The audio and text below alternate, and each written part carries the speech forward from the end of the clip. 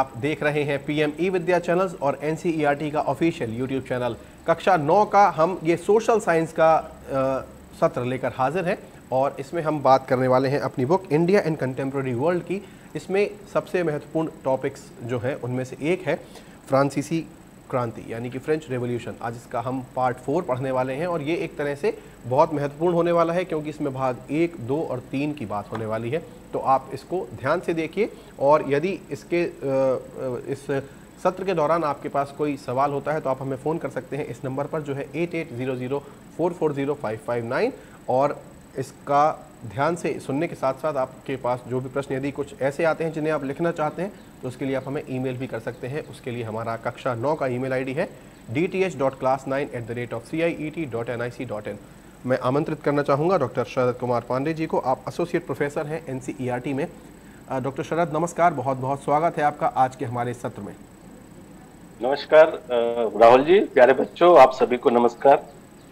और मैं आपसे ये भी गुजारिश करने वाला हूँ कि आ, कैसे हम आज के सत्र की शुरुआत करेंगे क्योंकि हम पहले ही फ्रांसीसी क्रांति पर भाग एक दो और तीन पढ़ चुके हैं। तो आज कैसे इन तीनों को समाहित करके आसान तरीके से आप ये समझाएँगे बच्चों को ताकि उन्हें याद रहें चीज़ें क्योंकि ये एक इतिहास से जुड़ा हुआ सामाजिक विज्ञान का विषय है और अक्सर ये कहा जाता है कि हम इतिहास क्यों पढ़ें इतिहास तो बोर हो जाता है कभी कभी लेकिन ये भी बात बिल्कुल सही है कि जो भविष्य होता है उसको हमेशा इतिहास से कुछ ना कुछ सीखने के लिए मिलता रहता है। तो मैं आपसे ये गुजारिश करूँगा कि आप इसको आरंभ करें। आ, आ, नमस्कार पुनः आपको राहुल जी, जी। और बच्चों आपको याद हो हमने फ्रांसीसी क्रांति जो क्लास नाइन्थ के सामाजिक विज्ञान विषय के अंतर्गत तीन सत्रों का आयोजन पहले किया है। और चूँकि इस बीच डेढ़ महीने का, दो महीने का व्यवधान भी रहा है गैप रहा है, और इस बीच हमारे कुछ नए बच्चे भी जुड़ रहे हैं, क्योंकि आपको पता ही है कि पेंडेमिक की सिचुएशन अब सामान्य की ओर बढ़ रही है। आप लोगों की सतर्कता से, जागरूकता से तो कुछ नए बच्चे भी जुलाई, अगस्त में अगर स्कूल ओपन होते हैं तो उनको भी ध्यान में रख के ये सत्र का शुरुआत है, सत्र का श्री श्री गणेश है।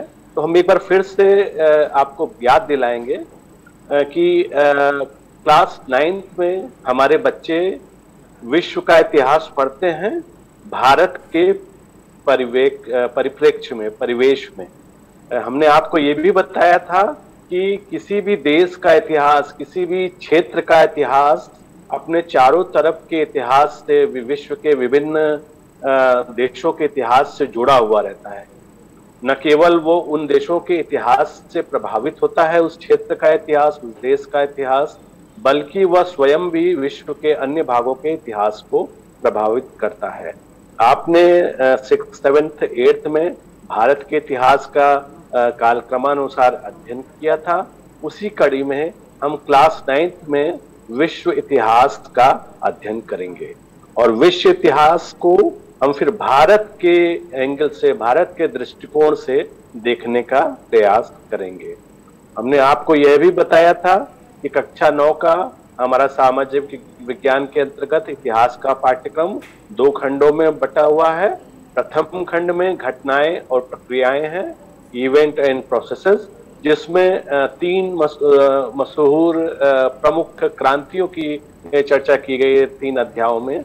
पहले अध्याय में फ्रांसीसी क्रांति की बात की है द्वितीय अध्याय में रूस की क्रांति की बात की है और तृतीय अध्याय में क्रांति नहीं बल्कि हम कहें एक राजनीतिक और सामाजिक बड़ा घटना नाजीवाद यूरोप में और जर्मनी में नाथसीवाद का उदय और हिटलर का नाम आप सभी ने सुना था। तो इन तीन अध्यायों को प्रथम खंड में रखा गया है और द्वितीय खंड हमारा आजीविका और अर्थव्यवस्था से संबंधित है। दैनिक जीवन और अर्थव्यवस्था से संबंधित है। और हमने बताया था कि अब हम इतिहास में रोचकता लाने के लिए, इतिहास में न केवल कुछ समूहों, व्यक्तियों का अध्ययन करने के बजाय जो हमारे दबे कुचले उपेक्षित समुदाय हैं कृषक समुदाय है, आदिवासी समुदाय हैं, महिलाएँ हैं जो बंजारे हैं, जो पशुपालक समाज है, उन सब के भी इतिहास को अब हम अपने इतिहास में उतना ही महत्व देते हैं जितना पहले केवल कुछ केवल घटनाओं, युद्धों, राजाओं, रानियों का हम अध्ययन करते थे। और आपको ये बता दें कि फ्रांसीसी क्रांति आधुनिक भारत के, आधुनिक विश्व के इतिहास में एक एक माइलस्टोन है, एक मील का प्रस्तर है। और आप, इसका महत्व विश्व को सबसे बड़ा यह है कि हम अपने राजनीतिक विज्ञान जो हम पढ़ने जा रहे हैं या हमने पढ़ा है, आपको पता है, हमारा संविधान है और हमारे संविधान का सबसे महत्वपूर्ण भाग उसकी प्रस्तावना है और जो भूमिका है, उसका प्रियम्बल है और आप उसको याद करने की कोशिश करें, जो आपको एनसीईआरटी की पाठ्य पुस्तक में भी प्रथम पेज पे मिल जाएगा और विभिन्न स्थानों में मिल जाएगा, उसमें जिस स्वतंत्रता, समानता, बंधुत्व और समान अवसर की बात की गई है, उसके मूल विचार हमको फ्रांसीसी क्रांति के, विश्व के योगदान के रूप में देखे जा सकते ठीक है। तो ये जो हमने जैसे आपने फ्रांस की क्रांति की बात की, आपने रूस की क्रांति की बात की, और ज़ाहिर सी बात है आपने एक ऐसी शख्सियत का नाम लिया जिनका कि यूरोप में न सिर्फ़ बोलबाला है बल्कि आज उनका नाम अमर हो गया है, जबकि इतिहास ये कहता है कि वो एक मामूली पेंटिंग का काम करने के लिए आए थे। उस शहर में जहाँ पर उन्हें अडोल्फ हिटलर कहा गया बाद में। तो मैं आपसे ये जानना चाहूँगा कि सोशल स्टडीज़ की जब हम बात कर रहे हैं तो कैसे हम बच्चों को ये पढ़ाएँ? आप जैसे रुचिकर तरीके से ताकि वो इससे हमारे काम की चीज़ें सीख सकें क्योंकि हमें आ, सीखना है बेहतरी के लिए क्योंकि जो गलतियाँ हो जाती हैं वो दोबारा दोहराई ना जाए।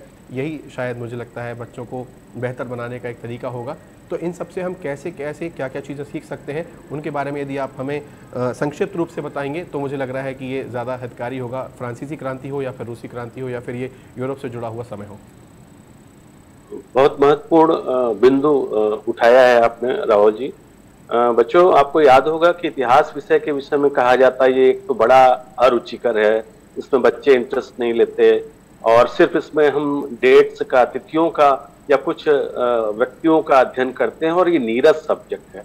लेकिन आज का हम अपना, और दूसरा इसकी हमारे आगे के जीवन में, वर्तमान जीवन में उपयोगिता नहीं है। ये तो अतीत के अतीत के, बल्कि कुछ लोग कह देते हैं कि गड़े मुर्दों को उखाड़ता है, जिसका हमारे वर्तमान और भविष्य से कोई लेना जाना लेकिन हम जब इस पर गंभीरता से रुक के आज का अपना पाठ्यक्रम देखेंगे, आज का इतिहास का पाठ्यक्रम और उसको पढ़ाने के तरीकों को देखेंगे तो अब ऐसी बात नहीं है कि इतिहास सिर्फ़ तिथियों का अध्ययन है।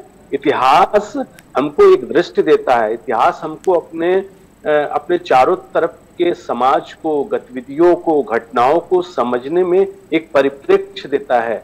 हम अपने आसपास की जिन घटनाओं को मामूली समझ के छोड़ देते हैं, उसके पीछे जाकर के किस तरीके से उसका विकास हुआ? क्योंकि वो जिस चीज़ में आज दिख रही है, ज़ाहिर सी बात है कि वो हमेशा से वैसी नहीं रही होगी। अब बात करें, बच्चे, आप लोग पुस्तकों की बात करें, जो प्रिंटेड किताबों, किताबें हैं, ये आप सभी के घरों में पत्रिकाएँ आती होंगी या अखबार आते होंगे, या आपने देखा होगा कहीं पे अखबार आते हैं तो क्या ये हमेशा से ही अखबार आते थे न्यूज़पेपर आते थे, पत्रिकाएँ आती थी, या पहले के लोग कैसे अपने चारों तरफ़ विश्व में क्या हो रहा है, देश में क्या हो रहा है, प्रदेश में क्या हो रहा है, इसका पता उनको कैसे लगता था? तब आपको पता लगेगा कि नहीं, चीज़ें बदलती हैं। आपको परिप्रेक्ष्य मिलता है और चीज़ों को बदलने के लिए कौन से कारक उत्तरदायी है तो इस प्रकार इतिहास एक बहुत महत्वपूर्ण विषय है और हम इसको, हम जब इसमें विभिन्न पहलुओं को शामिल करेंगे, बच्चों, प्राचीन काल में बच्चे किन खिलौनों को खेलते थे? फिर जब मध्यकाल आया तो कुछ धातुओं का विकास हुआ, कुछ नई चीज़ें आई, कुछ नए अन्वेषण हुए, खोज हुए, आधुनिक काल में कुछ और प्लास्टिक जैसे जो है, तत्वों का निर्माण हुआ। चीज़ों का निर्माण हुआ उससे खिलौने बने या पहले के जो स्पोर्ट्स होते थे खेल होते थे किस तरीके के खेल होते थे इंडोर गेम होते थे या आउटडोर गेम होते हैं? आपने ओलंपिक का इतिहास जो हाल ही में टोक्यो में होने जा रहा है इसका एक सुदूर अतीत का इतिहास है।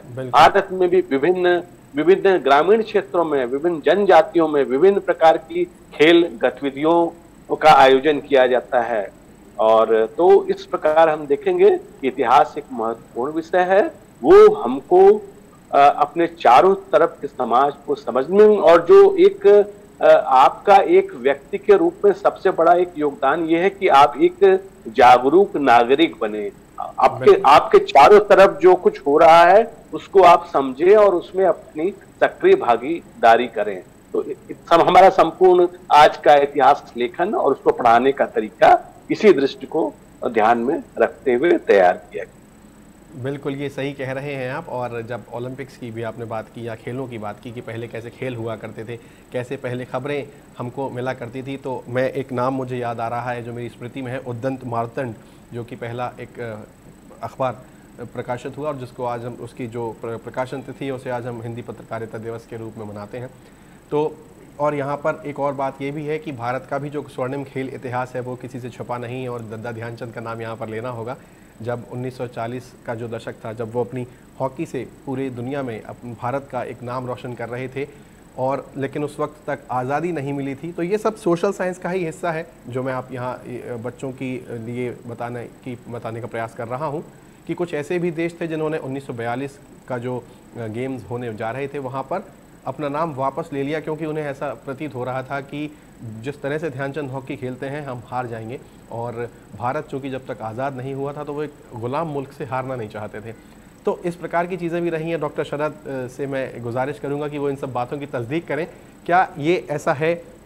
और क्या ये वाकई में प्रेरणादायक नहीं है कि अगर यदि ये सारे विषय सोशल साइंस का हिस्सा है, सामाजिक विज्ञान का हिस्सा है तो हमें कितना बेहतर अपने आप को आज समझना चाहिए कि वो समय कैसा था और आज समय कितना बेहतर हो गया है।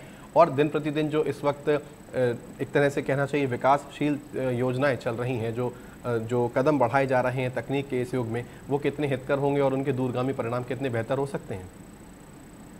बिल्कुल बहुत महत्वपूर्ण मुद्दों की ओर आपने हमारा ध्यान आकर्षित किया है। दो बातें आपने की। एक तो किया आपने उद्दंड मातंड का नाम लिया। तो एक तो चीज़ें हमारी अखबार या प्रिंटेड मीडिया या पुस्तकों के संदर्भ में है, और दूसरी आपने बात किया खेलों की, जिसमें आज भारत बढ़ चढ़कर न केवल क्रिकेट में बल्कि कई खेलों में आगे भागीदारी कर रहा है और केवल अब हॉकी जैसे परंपरागत खेलों में नहीं, बल्कि नए नए एथलीट एथलीट विभिन्न प्रकार के खेलों में आगे आ रहा है। यहाँ बड़ा रुचिकर है राहुल जी। कि जो फ्रांसीसी क्रांति है हमारा टॉपिक है और आज हम सामान्य चर्चा ही करेंगे क्योंकि इस पर हमने तीन सत्र पे विस्तार से चर्चा किया है। आपने बड़ा अच्छा याद दिलाया जब जो फ्रांसीसी क्रांति हुई थी उस समय फ्रांस का जो अधिकतर समाज था वो अशिक्षित था। तो उसके बावजूद भी कैसे अखबार या पुस्तकें या जो प्रिंटेड मटेरियल है इसकी क्या भूमिका तो आपको हम बता दें बड़ा रोचक है ये कि उस समय जो विभिन्न क्लब बने जो राजतंत्र के विरोध विरोध में या जो विशेषाधिकार प्राप्त है जिसमें सामंतों का कुलीनों को और पादरियों को चर्च के पादरियों को और राजा को विशेष अधिकार प्राप्त थे जन्म से ही जिसमें कि उनकी योग्यता पे नहीं जन्म आधारित विशेषाधिकार था। तो ये जागरूकता लोगों में कैसे फैलाया जाए? तो उस समय जो मध्य वर्ग जो जिसको तृतीय स्टेट कहते हैं उससे उभर के आया था उसने दो तरीकों का सहारा लिया। एक तो जो छोटे छोटे जगह में क्लब होते हैं जैसे हमारे यहाँ कॉफ़ी हाउस है या चाय पे चर्चा होती है जी, जी, उसी तरह छोटी छोटी इन जगहों पे जो एक दो शिक्षित लोग थे वो अखबारों को पढ़ते थे ज़ोर ज़ोर और जो अशिक्षित समाज थे कृषक थे कारीगर थे जो निरक्षर थे ज़्यादातर लोग निरक्षर थे उस समय फ्रांस में तो वो उसको पढ़ के समझने की कोशिश करते थे, क्योंकि वो खुद पढ़ नहीं सकते थे। उसको जो उनके सामने बोला जा रहा था, उसको समझने की कोशिश करते थे। दूसरा, इसके लिए वो विभिन्न खेल विधाओं को, विभिन्न नाटकों का भी मंचन करते थे, जिसपे कि उस समय फ्रांस के राजा ने सेंसरशिप लगाई थी। मतलब आपको कोई प्रदर्शन नहीं करना है। महिलाएँ, आप समझ लीजिए, इतना रूढ़ीवादी समाज था। हम सबके मन में इस तरीके का इतिहास लेखन किया गया है कि पश्चिम हमेशा से आगे रहा है और भारत जैसे पूर्वी देश हमेशा से पिछड़े रहे हैं। लेकिन ऐसा बिल्कुल नहीं है। ये उस समय का इतिहास लेखन दुर्भावनाग्रस्त तरीके से लिखा गया था। उस समय आपको हम बताएँ कि जो महिलाएँ हैं वो किसी चित्र किसी चित्रकारियों का भी चित्रकारी का पेंटिंग का या किसी इल्स, स्किल्स का प्रशिक्षण लेने का उनको अधिकार नहीं प्राप्त था। जबकि आप देखते हैं कि फ्रांसीसी क्रांति कहा जाता है कि फ्रांसीसी क्रांति में कहते हैं कि समानता का विचार विश्व में फैला। लेकिन आपको ये जान के ताजुब होगा कि फ्रांसीसी क्रांति 1789 में हुई। और फ्रांस की महिलाओं को वोट देने का अधिकार 1946 में लगभग अठारह सौ उन्नीस ढाई सौ वर्षों से के बाद जाके उनको वो अधिकार प्राप्त हुआ। तो इस तरीके से हमने देखा प्रिंटेड मीडिया का किस तरीके से प्रिंटेड मटेरियल का सहारा लिया। दूसरा आपने खेल की बात किया। जी। आ, बच्चों आ, हमने आपको बताया आ, कि इतिहास आपको किसी भी चीज़ को सूक्ष्म रूप से अवलोकन करने की समझ देता है। अब आप एक उदाहरण लें क्रिकेट क्रिकेट का। जी। आपको याद होगा कि कई पुस्तकों में क्रिकेट को एक एक चैप्टर के रूप में शामिल किया गया है। और आप जब देखेंगे कि किस तरीके से अंग्रेज़ों के समय में भारत में क्रिकेट आया और किस तरीके से विभिन्न क्लब्स बने जैसे आपको पता होगा भारत में जो सामाजिक पुनर्जागरण के फलस्वरूप जो विभिन्न संगठन बने जो बाद में एक राष्ट्रीय जो देश की जो इंडियन नेशनल कांग्रेस जो है वर्तमान कांग्रेस नहीं एक दूसरी जो हमारे देश की राष्ट्रवादी जो कांग्रेस संगठन का उदय हुआ उसके पहले जाति के आधार पे धर्म के आधार पे संगठन बने। और आपको ये ताजुब होगा शुरू में जो भारत में क्लब भी, भी बने वो Mohammedan club Hindu club Parsi club बिल्कुल। और जो एंग्लो एंग्लो इंडियन क्लब किस तरीके से बने? और आप ये देखिए कि यही नहीं हम देखते हैं कि भारत में भी जो शोषण हम देखते हैं दलित कितने वर्षों से दबाए गए हैं। आपको ये जान के और आपको क्रिकेट में ये पता ही हुआ क्रिकेट कहा जाता है जेंटलमैन गेम। इस तरीके के कॉन्सेप्ट क्यों आए? और जेंटलमैन और क्रिकेट को मूलता माना जाता है वो बल्लेबाज का। गेम है। और आपको पता होगा कि इस कदर आप जब आप सोचेंगे और शुरू के क्रिकेट के भारत में इतिहास को पढ़ने की कोशिश करेंगे तो आपको लगेगा कि बाउंड्री में जो प्लेयर लगते थे वो भारत में दलित जात के लोग थे। हाँ क्योंकि उनको मेहनत करनी पड़ती थी। और जो स्लिप में जो थे वो ब्राह्मण और इस तरीके की जातियों के खिलाड़ी थे। इसी तरह बल्लेबाजी जो बल्लेबाज थे जो जिसमें कम श्रम होता है अपेक्षाकृत बॉलिंग करने के लिए। बॉलर आप देखते हैं कितने दूर से आके बॉल तो शुरू के जितने बल्लेबाज हैं जितने भी बल्लेबाज हैं वो ज़्यादातर जो है उच्च वर्णों से आए और जो गेंदबाज हैं या जो इस तरीके आपको ये जान के पता होगा एक बालू करके एक स्पर्श जाति के जो गेंदबाज थे भारत के उनका बहुत समय तक क्रिकेट में प्रवेश ही नहीं हुआ। ब्रिटिश के समय में भी ब्रिटिश काल में भी जो भारत की टीम थी जो जिम खाना क्लब में और विभिन्न क्लबों में होते थे तो उनको भी कप्तान सिर्फ़ उनकी जाति की वजह से ही नहीं बनाया गया। तो इस तरह हम देखते हैं जो उपनिवेशवादी आंदोलन था, या उसके अलावा भी जो सामाजिक समानता का आंदोलन था, जो दलितों के उद्धार का आंदोलन था, ये हर क्षेत्र में था। हम कोई भी एक उदाहरण उठा करके देख सकते हैं इसमें। तो इस तरीके से हम ये दो प्रमुख उदाहरण दे सकते बिल्कुल, और यहाँ पर एक हमारे पास अब अंत में सिर्फ़ पाँच मिनट का समय इस हमारे सत्र में रह गया है।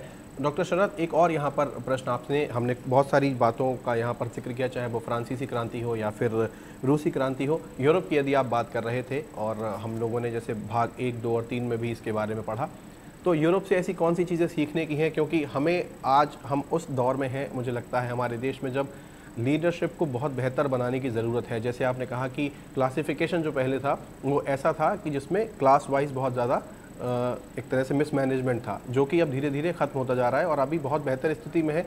आगे आने वाली स्थिति में और बेहतर हो, उसके लिए हमें लीडरशिप को ऐसी डेवलप करना होगा ताकि वो और बेहतर बने, ताकि सबको समान अधिकार प्राप्त हो। तो ऐसे में क्या यूरोप से कोई ऐसी चीज़ सीखने को मिल सकती है जहाँ पर इन्फ्लुएंस हो किसी ऐसे व्यक्ति का, जो खुद एक ढाल की तरीके से खड़ा होकर बेहतर करने की क्षमता रखता हो और लोगों के अंदर वो जज्बा पैदा कर सकता हो कि वो भी सही की तरफ़ अपने कदम बढ़ाएँ।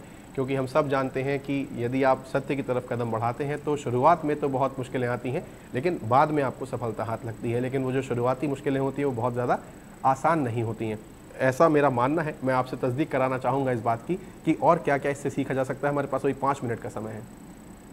बिल्कुल लेकिन यहाँ पे हम आपको आपका ध्यान आकर्षित करना चाहेंगे राहुल जी, जी। कि जो हमारा इतिहास लेखन अभी तक हुआ है वो यूरोसेंट्रिक इतिहास है। उसमें इस तरीके से इतिहास लेखन किया गया है कि जो यूरोपीय देश थे उनके साम्राज्यवादी शोषण को सही ठहराया जा सके और भारत जैसे जो पूर्वी देश हैं भारत है जो अफ्रीकन देश हैं या लैटिन अमेरिकन देश हैं, जहाँ पे कि यूरोपीय शक्तियों का शासन था, वहाँ के लोगों को सुस्त प्रगति विरोधी और उन देशों को हमेशा से पिछड़ा हुआ दिखाने का प्रयास साम्राज्यवादी इतिहासकारों के समय भी हुआ और ये परंपरा काफ़ी रिसेंटली पास तक ये चालू रही है। आज हमारा हमारा मुख्य फोकस होना चाहिए कि भारत को विश्व से क्या देन है? आप फ्रांसीसी क्रांति की बात करें। आपको याद होगा फ्रांसीसी क्रांति में बुद्धिजीवियों की हमने चर्चा किया था, बहुत महत्वपूर्ण भूमिका थी। विभिन्न सिद्धांत दिए गए थे। शक्ति पृथककरण का सिद्धांत दिया गया था कि कार्यपालिका न्यायपालिका व्यवस्था, व्यवस्थापिका, ये दोनों एक व्यक्ति में, राजा में नहीं हो।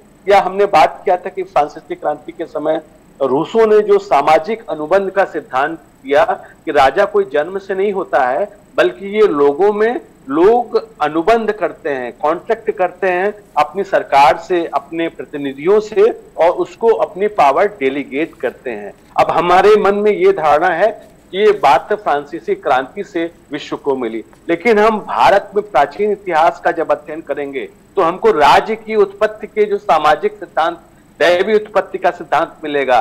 हमारे जो प्राचीन ग्रंथ है, उनमें सामाजिक अनुबंध का सिद्धांत भी मिलेगा। तो इस तरीके से हम देखते हैं कि हमारे इतिहास का जो वर्णन है, वो संतुलित तरीके से होना चाहिए। और अब आज आवश्यकता है कि हम भारत और पूर्व के दृष्टिकोण से, जो पहले की तमाम तरीके के मिथ है, कि पश्चिम ही या यूरोप ही प्रगतिशील है, औद्योगिक क्रांति वहाँ, वहीं पे आई, और भारत में इस तरीके का उसके पहले कोई वो नहीं था। आपको पता ही होगा कि आधुनिक काल का प्रारंभ होने के पहले तक विश्व के व्यापार में भारत का महत्वपूर्ण स्थान था।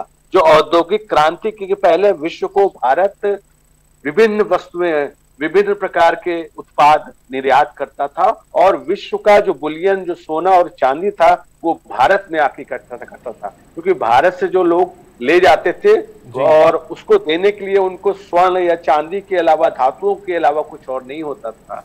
तो इस संतुलित दृष्टिकोण से हमको केवल यूरोसेंट्रिक नहीं एक संतुलित दृष्टिकोण से आज अपने अतीत का अपने उसका अध्ययन करना चाहिए और हमें प्रसन्नता है कि हमारी वर्तमान नई शिक्षा नीति 2020 में इस भारतीय समृद्ध विरासत को अपने बच्चों को रूबरू कराने का एक दृष्टिपत्र हमें प्राप्त होता है। बिल्कुल ये बिल्कुल सही है सही बात आपने यहाँ पर जो है सम्मिलित की इस सत्र में कि आने वाले समय में ये सारी चीज़ें जो है बिल्कुल प्रभावकारी होंगी।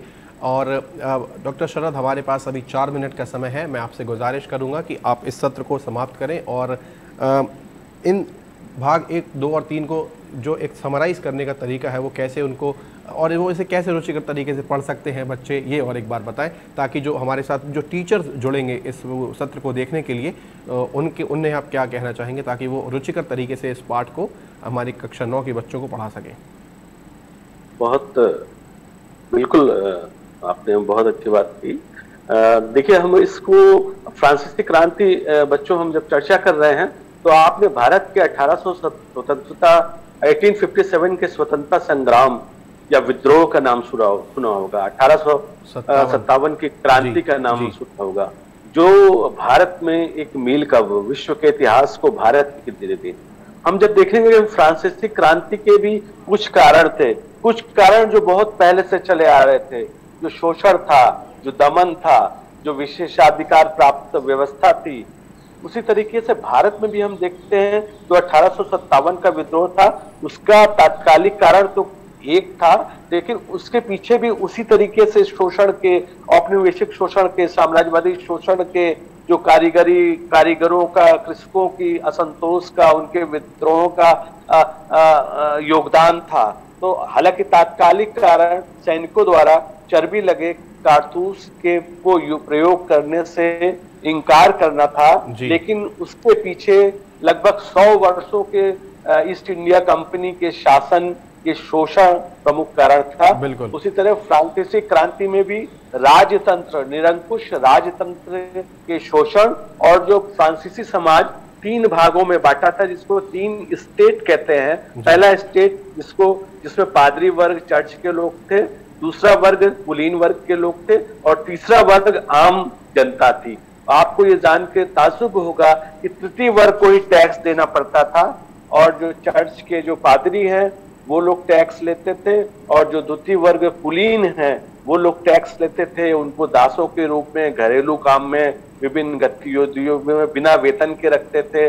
दासों जैसा उनका शोषण करते थे और तीसरा वर्ग जो सबसे दमित उपेक्षित था लेकिन इस तीसरे वर्ग में ही और हर देश में ये हुआ। भारत में भी आप देखेंगे जो नव शिक्षित वर्ग है राजा राम मोहन राय ईश्वर चंद्र विद्यासागर देवेंद्र नाथ टैगोर तमाम नाम है हमारे पास। इस नव शिक्षित वर्ग भी उभर के आया है उसने भारत में सामाजिक पुनर्जागरण किया। इसी तरह इस तृतीय वर्ग से ही जो कुछ संपत्ति इकट्ठा करके मध्य वर्ग मिडिल क्लास उभर के सामने आया उसने इस क्रांति को फ्रांसीसी क्रांति को नेतृत्व प्रदान जी जी बिल्कुल। और यहाँ पर ये जितने भी आपने नाम अभी लिए हैं और मुझे लग रहा है इसमें चाहे भारतेंदु हरिश्चंद्र का नाम हम जोड़ें या फिर आ, हम रविंद्रनाथ टैगोर का नाम जोड़ें या हमेशा लेखनी और इतिहास साथ साथ जो चलते हैं उन्होंने जो अपलिफ्टमेंट दिया है समाज को वो तो कभी हम भूल ही नहीं सकते हैं और ये सदा बेहतरी का ही काम करेगा। साहित्य के साथ साथ ये हमारा सोशल साइंस यानी सामाजिक विज्ञान का विषय। डॉक्टर शरद आप हमारे साथ जुड़े। आपने ये फ्रांसीसी क्रांति पर हमारा ये कंक्लूडिंग सेशन लिया। उसके लिए बहुत बहुत धन्यवाद। बहुत आभार आपका। धन्यवाद। बच्चों प्यारे बच्चों नमस्कार आपको। Thank you Rahul ji. Sir हमारा ये सोशल साइंस का सेशन हम यहीं समाप्त करते हैं। अगला सेशन लेकर हम अभी हाजिर होंगे जो कि है मैथमेटिक्स का। कहीं मत जाइएगा, देखते रहिए पीएम ई विद्या चैनल्स और एनसीईआरटी का ऑफिशियल यूट्यूब चैनल नमस्कार।